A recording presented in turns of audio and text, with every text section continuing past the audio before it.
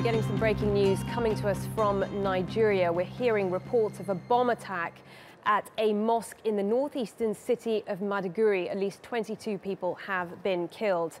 We can speak to Sophia Adengo. She's been uh, she's on the phone. She's been following the story for us from Abuja. Sophia, uh, tell us more about uh, what you what you know about this bomb attack well, what has become all too familiar in the northeastern part of Nigeria, this time in Borno. Uh, Borno is one of three states that, have, that has been confronted uh, continuously with the Islamic terror group Boko Haram. In this case, a suicide bomber entered a mosque uh, early Thursday and uh, during prayers detonated a bomb strapped to himself. He is said to have entered the mosque, uh, you, you, know, without uh, anybody suspecting that perhaps, uh, you know, bombs were, were strapped to his body.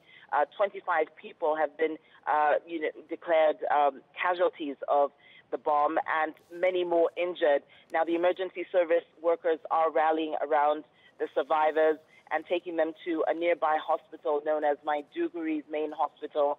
Uh, the, the attack, although has not um, been claimed responsibility by Boko Haram, is believed to have been carried out by the members of the Islamist group uh, simply because this seems to be the typical fashion with which uh, this area has been continuously bombarded by uh, attacks such as these. Um, Boko Haram, of course, has been uh, de escalated in many parts of Borno. However, these lone uh, suicide attacks uh, tend to continue. Okay, Sophia, uh, many thanks for that uh, breaking news there.